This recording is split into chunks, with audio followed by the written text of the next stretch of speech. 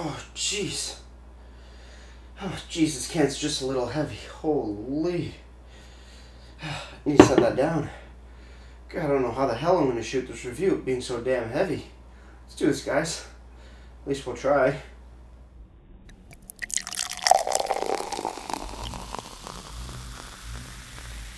Beer, beer, beer, beer, beer, beer, beer, beer. Hello, everybody. Welcome back to me, Maple Ruski, for another Ruski Brewski review. And today, the beer I have for you looks like a very all black can, but it's black with some very dull, dull gold coloring on it, which the light ring actually picked up quite nicely. This is by Lake Wilcox Brewing Company out of Vaughan, Ontario, Canada. This is their Oomph Lager limited edition special release in collaboration with uh, the the Todd Shapiro Show. Interesting. Very, very interesting. How much alcohol? 5% ABV, 16 IBUs, and 4 on the SRM scale. So it's a lager, and it's a collab brew, so that's kind of cool. Yeah, black can, gold writing. It's pretty hard to see in regular light, to be honest. When you put it up to the ring light, obviously makes it a bit easier to see, but that's one thing to note. It's kind of hard to read, but we're going to crack this open anyway. See what we got. Black can. Is it going to be a black lager? I honestly don't think so. It probably would have said it on the can. I'm pouring it into my regular glass because regular glasses are fine for right now. Let's see what we got be a decent amount of head on there.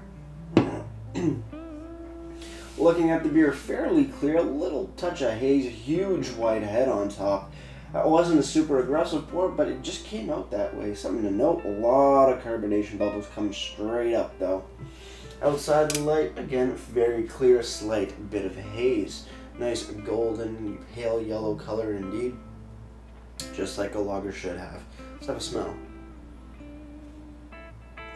going through the head because it's harder for me to find stuff through the head. Um, ooh, what is that? Like a lemongrassy sort of citrusy note. Slight uh, sweet melon in there as well. Light breadiness. Just a sweeter aroma from a beer. Lemongrass, citrus, melons.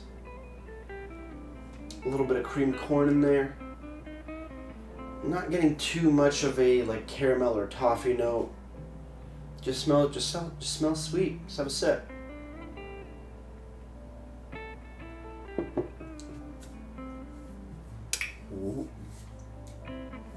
Whoa. Okay, where did that white grape come from? There's like a white grape, almost funky yeast, almost um, what's the name, saison sort of flavor coming off of there. I don't know where that came from, but I'm kind of enjoying it. That is interesting. That is really interesting. I need more sips and more evaluation, more research. So with that said, guys, cheers everybody. Let's keep on drinking.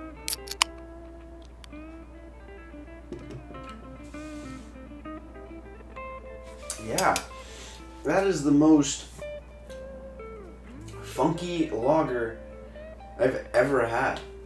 That is wow, that is funky. You get you get that sort of white grapey, champagne esque flavor with this. Uh, the carbonation isn't as effervescent compared to say a um, uh, a saison by any means, but it is a weird twist of a beer. Holy! In the front you get big citrus, a little bit of orange, and you get that white grape funkiness right afterwards.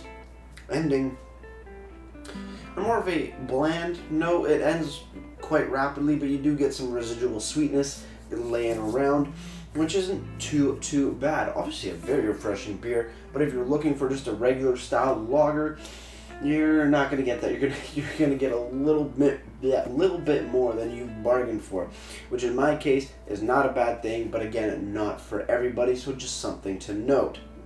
Moving over to the can, very black can. Lake Wilcox Brewing Co. Oomph Lager. Jeez, I'll tell you, it's got some oomph. Limited edition, like I said, special release in collaboration with uh, the Todd Shapiro Show. Toronto Desired Driven. Desire, yep, Desire Driven, very nice. 5% ABV, 16 IBUs, and 4 on the SRM scale. Uh, beer, beer, beer, beer. Description Good beer awaits you. Brewed in collaboration with entrepreneur slash personality Todd Shapiro, Oomph Lager was created to reflect both Toronto's desire and drive and Lake Wilcox's Brewing Co.'s premium quality craft beer. This limited edition unfiltered blonde lager is a refreshing burst of instant enjoyment your taste buds are waiting for. The Wai-iti hops create a little citrus up front, settling down, I mean settling into a delicious stone fruit flavor in the back. Low on bitterness with an overall smooth finish. Oomph Lager doesn't seek the spotlight, it just it just happens to be a natural star. Very, very nice description. So I guess that's stone fruit that I'm getting, not white grape. I don't know why I say white grape. That's sort of where my mind takes me to. But I guess that's stone fruit, and I kind of got to get used to now changing over what I think it is into what it may or may not be. But I'm still getting that white grape. Don't even get me wrong. That's interesting on the side, uh, ingredients, ingredients, ingredients. I do not see any, but on the bottom, packaged on the whoa. Okay, this is a very old beer. This is, yeah, because it's the ninth month right now. This is from the January tenth, twenty nineteen. Still very fresh. Nothing wrong with it but very interesting to see that it's a very old beer. Hasn't gone flat. Doesn't have any cheesy taste. But that's something to note, guys. Something to note. Thanks, LCBO. Moving over to the website, lakewilcoxbrewing.com. You go over to the you go over to their website and then down to the menu and the beer menu. You scroll down a bit, you pass the hour beers and you end up going to a small batch of limited release. Oomph Lager is there and showing you all the sizes and pricing for the uh, for you know for the beer. Um, also has the same description and also alcohol, IBU, and SRM numbers as you will find on the can. But um, pricing for this. I guess this is at the brewery, if I'm not mistaken. For a single 473 ml can, it's 325 1890 for six of them. 24 packs going to be 70 80 A growler, 64 ounces, will be um, $15 plus whatever deposit, but 15 is just for the beer. Uh, you can get 30 liter, liter kegs for just under 170 bucks and 50 liter kegs for just under 270 dollars plus whatever the deposit is. So just something to know. I love how they give you that nice list of everything available. At your LCBO though, is it going to be any different than the uh, 325? Whoa. 325 showing on the website, but at the brewery, 295. I mean, not at the brewery. At the brewery showing two, 325, but at the LCBO, you're paying 295. I don't know why the difference. I thought it would be a little bit more expensive at the LCBO, but apparently not something to note as well. Finally, moving over to Untappd by Lake Wilcox Brewing Company has been given a 3.32 bottle caps out of 5, and that's out of just over 500 ratings. Solid, solid for sure. Um, it, it, it is a very interesting beer. It is definitely not like a regular lager that I've ever had before. Um, was not expecting this, but it is something that you know just catches you off guard. Thankfully, I like these flavors, but like I said, if you're just going in for a craft lager, something different than your butter Canadian, and you see this, thinking it's going to be more on the lager side of things, it, it, it is, but it, then again, it totally isn't it's a totally different animal. Um, even though it still be still may yeah still may be under the lager category, it does not taste like a traditional lager. I'm kind of liking it though. So cheers everybody on the final sip. Let's get right to ratings and wrap this thing up.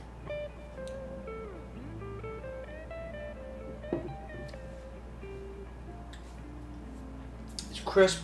It's refreshing. It's a little astringent, drying of the mouth just a touch because of the. Uh, I don't know, white grapey funkiness that I'm getting off the beer, which I guess was stone fruit, but I just need to change over my wording.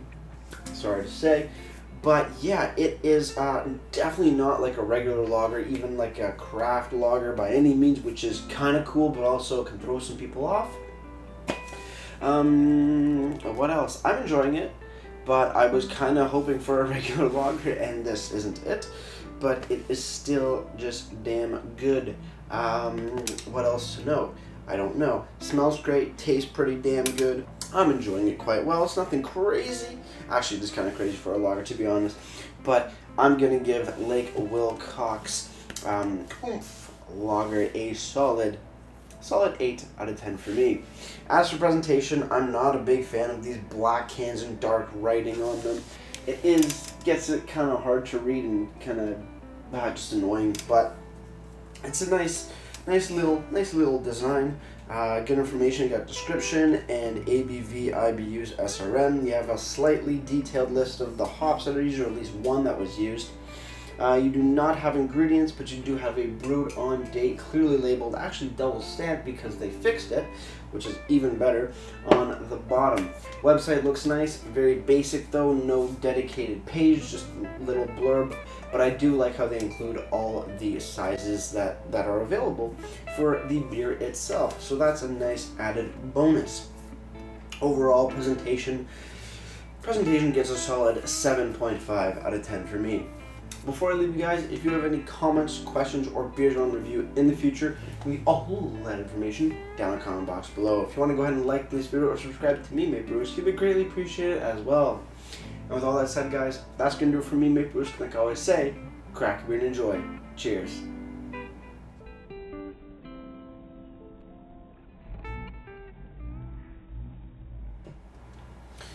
It's a lager, but does not taste like a lager. Hey, hey, hey, hey. Mm, mm, mm, mm, mm. Bum, bum, bum, bum, bum, bum, bum, bum. Mm.